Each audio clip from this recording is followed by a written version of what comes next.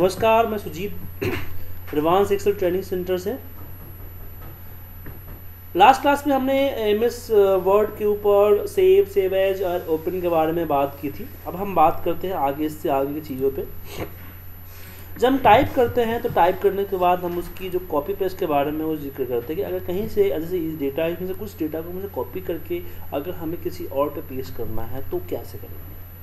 तो पहले तो आपको कॉपी करने के लिए सिलेक्शन करना होता है। सिलेक्शन आप माउस से क्लिक होल्ड करके कर सकते हैं, या फिर आप सिलेक्ट कर सकते हैं शिफ्ट के साथ एरो की से।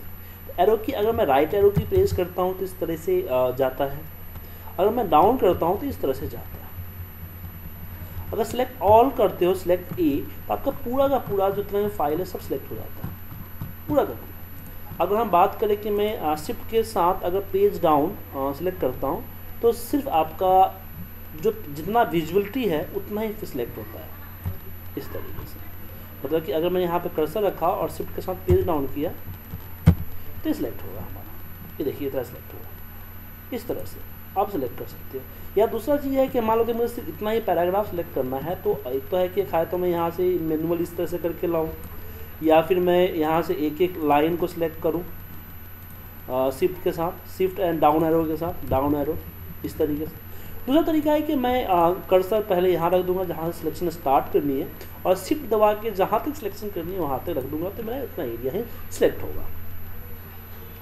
क्योंकि सिलेक्शन इंपॉर्टेंट है कि बिना सिलेक्शन किए ना हम फॉर्मेटिंग कर सकते हैं, ना कुछ और चीज़ें कर सकते हैं। तो selection is the important part तो सिलेक्शन के लिए आप सिलेक्शन अप्लाई कर सकते हैं। तो कंट्रोल ए हो गया।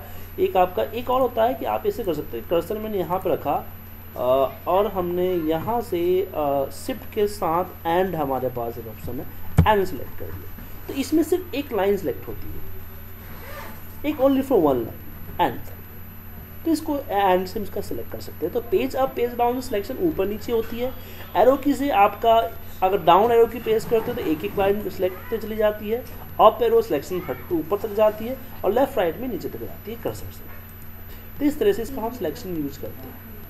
उसके बाद बात करते हैं हम कॉपी पेस्ट का। अगर हमने सिलेक्शन बना भी लिया किसी भी तरीके से कॉपी करके तो कॉपी करने के लिए आप यहाँ से, यहाँ पे क्लिक कर दीजिए। या शॉर्टकट इसका होता है control C control C use कीजिए और जहाँ कोई पेस्ट करना है, जैसे कि एक नई शीट पे करना है या किसी और शीट पे करना है, वहाँ पे जाइए और जहाँ पे पेस्ट करना है, वहाँ पे डबल क्लिक कीजिए और यहाँ पे कंट्रोल वी या फिर पेस्ट पे क्लिक कर दीजिए। ये आपका पेस्ट हो जाता है। लेकिन अगर पेस्ट तो क्या होता है कि जैसे वहाँ का, जैसा है वैसा उठा के ले आता है। लेकिन हम कट की बात करें, यहाँ से हम कट पे प्रेस करें तो वहाँ से हटा के और जहाँ डालना चाहते हैं, वहाँ पे डाल देता है।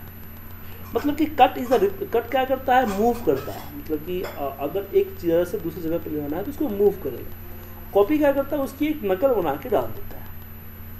तो अगर एक ही चीज़ को बार बार चीज़ों पर लिखना है तो आपको कॉपी कर सकते हो। बार बार लिखने की जगह उस पर आप कॉपी कर लो लेकिन कॉपी जब हम पेस्ट करते हैं तो पेस्ट करने के बाद इसी नीचे देखिए और भी बहुत चीज़ें जैसे पेस्ट ए तो पेस्ट ऑल इसका मतलब क्या हुआ? पेस्ट ऑल ये क्या हुआ? जस्ट उसकी फॉर्मेटिंग पेस्ट होगा। की पे शोर्स फॉर्मेटिंग के इसकी फॉर्मेटिंग के साथ पेस्ट होगा। जैसे कि अगर मैं इसकी कलर लर अगर फॉर्मेटिंग वगैरह कर देता हूँ इसमें मान लीजिए कि इसका मैंने फॉन्ट चेंज कर दिया, इसका ये कलर कर दिया देन मैं इसको सेलेक्ट करता हूँ सेलेक्ट कॉपी करता हूँ। तो अगर मैं यहाँ पे ए पे क्लिक करता हूँ तो पूरा जैसा वैसा आएगा अगर मैं यहाँ पे इस पर क्लिक करता हूँ तो ये फॉर्मेटिंग के साथ आता है। बाकी चीज़ें हाइपरलिंक वगैरह और चीज़ें वो नहीं आएगा। लेकिन जब मैं इस पर क्लिक करूँगा तो सिर्फ़ आपका वर्ड आएगा। मर्ज फॉर्मेटिंग इसको बोलते हैं मर्ज फॉर्मेटिंग इसमें बैकग्राउंड के नहीं कलर कलर वलर नहीं आते लेकिन हाँ कुछ चीज़ें हैं, वो मर्ज होकर आती है। और दूसरा है नॉर्मल फॉर्मेटिंग आता है। तो यहाँ से इसका यूज़ करते हैं, इसको बोलते हैं पेस्ट स्पेशल या फिर इसे और चाहिए तो आप पेस्ट स्पेस में जाइए। यहाँ पे आपके फीचर आ गए क्या माइक्रोसॉफ्ट की जैसा फॉर्मेट में करना चाहता है या फॉर्मेटेड टेक्स्ट में करना चाहते हैं अनफॉर्मेटेड टेक्स्ट करना चाहते हैं या पिक्चर उसको पिक्चर में कन्वर्ट करना है तो पिक्चर तो इससे क्या हुआ कि अब टेक्स्ट नहीं रहा ये आपका पिक्चर बन गया। इसको छोटा, बड़ा अपने हिसाब से कर सकते हो। इस तरीके का पिक्चर क्रिएट कर देता है। तो यहाँ पे कहाँ से होता है? पेस्ट स्पेशल से सेट इज़ डिफ़ॉल्ट फॉन्ट तो जो आप पेस्ट करोगे, वो आपका सेटिंग चेंज कर सकते हो डिफ़ॉल्ट पेस्ट का सेटिंग क्या होना चाहिए। यहाँ से अपने हिसाब से सेट कर सकते हो। लेकिन हमें यहाँ पे करने की ज़रूरत नहीं है, इसका यूज़ कर सकते हैं। लेकिन हम बात करें क्लिप बोर्ड का, या फिर फॉर्मेट प्रिंटर की हम बात करते हैं। जैसे कि यहाँ पे बात करें कि हमने इसकी फॉर्मेटिंग यहाँ से ऐसी कर दी। अब नीचे मुझे सेम फॉर्मेटिंग करनी है, फिर दोबारा इसको सिलेक्ट करके बाकी कलर अप्लाई करने की ज़रूरत नहीं। सेम फॉर्मेटिंग चाहिए तो मैं इसको सिलेक्ट करूँगा और फॉर्मेट प्रिंटर उठाऊँगा और यहाँ से में पेस्ट कर दूँगा उसे बोलते हैं paint paste as a format formatting हमारी पेस्ट हो जाती है। तो फॉर्मेट प्रिंटर इसके यूज़ करते हैं। अब क्लिपबोर्ड का आखिरी पार्ट क्या आता है? आखिरी पार्ट हमारा यहाँ पे आता है कि किस तरीके से हम क्लिप बोर्ड यूज़ करते हैं। बेसिकली क्लिप बोर्ड क्या करता है? तो मैं क्लिप बोर्ड को एक्टिवेट कर देता हूँ। तो जो भी हम कॉपी करते हैं ना, वो कॉपी क्लिप बोर्ड में आ जाती है। जैसे क्लियर कर दिया, अगर मैंने इस पार्ट को कॉपी किया, इस पार्ट को कॉपी करने से क्या हुआ? इसमें आ गया। तो किसी और कॉपी करना है। सिलेक्ट किया। और यहाँ पे कंट्रोल सी वहाँ पे ऐड हो गया। जब मुझे कहीं पेस्ट करना है तो पेस्ट करने के लिए मुझे यहाँ पे क्लिप बोर्ड पर जाना है और यहाँ क्लिप बोर्ड पर पेस्ट ऑल कर देना है। एक साथ पेस्ट हो जाएगा। लेकिन इसका यूज़ क्या करेंगे? इसका यूज़ होता है जब आप कॉपी पेस्ट का काम करते हो कहीं दूसरे शेयर से। जैसे मान लीजिए कि हम गूगल पे जाते हैं। हम गूगल पे जाने के बाद हम उसको सर्च करते हैं। जैसे कि किसी के बारे में जानना हो, अगर उसका एक टेलीफोन नंबर हो, उसके बारे में उसके बारे में और मोर जानना चाहते हो तो आप उस पर double eight zero two five seven nine three उसका मोबाइल नंबर टाइप करो। जैसे मुझे मेरे बारे में जानना है तो मेरा मोबाइल नंबर आप गूगल सर्च पे टाइप कर दीजिए एंटर मारिए।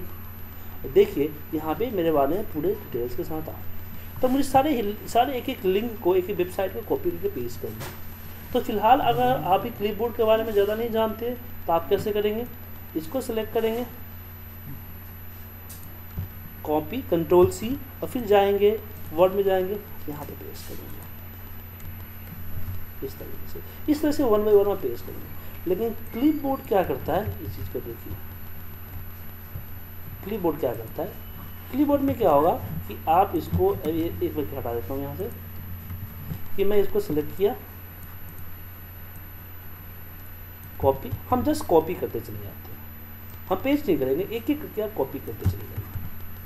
यहाँ देख रहे हैं, यहाँ पे ऐड हो रहा है। टू ऑफ़ ट्वेंटी फोर मैं एक बार ट्वेंटी फोर ही आप कॉपी कर सकते हैं, इससे ज़्यादा कॉपी नहीं कर सकते। ओनली फॉर ट्वेंटी फोर इससे ज़्यादा कॉपी कीजिएगा तो आप रिप्लेस आपका वो रिप्लेस कर देगा। इस तरीके से आपने उसको कॉपी कर दिया। उसके बाद जब हमें इसकी ज़रूरत होगी तो हम क्या करेंगे? हम जाएँगे, अपने वर्ड पे जाएँगे और इसको यहाँ से पेस्ट स्पेशल नहीं क्लिप बोर्ड में जाएँगे, इसको पेस्ट ऑल कर देंगे। तो आप देखिएगा, ये सारा इकट्ठा पेस्ट हो रहा है। पूरा इकट्ठा पेस्ट हो पेस्ट ऑल ठीक है, ऐसा पेस्ट हो जाएगा तो ये एक एक लाइन नहीं आ रहा। लाइन करना चाहते तो भी हो सकता है।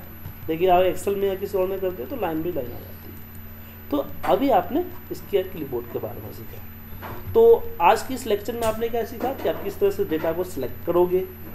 किस तरीके से आप उसको कॉपी पेस्ट करोगे पेस्ट में आप फॉर्मेट विदाउट फॉर्मेट कैसे पेस्ट करोगे?